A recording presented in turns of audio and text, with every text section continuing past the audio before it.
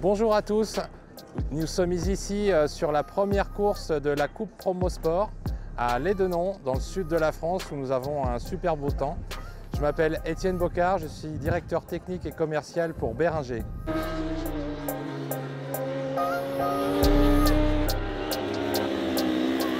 Béringer est une société française qui a été créée en 1985 par Gilbert Béringer et on fabrique tout chez nous, en France donc.